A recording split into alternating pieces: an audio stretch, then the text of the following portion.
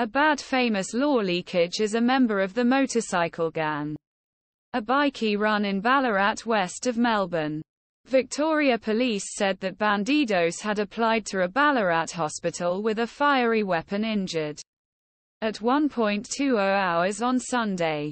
Police believe that the fire occurred near Bandidos clubhouse. And the 29-year-old Ballarat man was subjected to life-threatening injuries.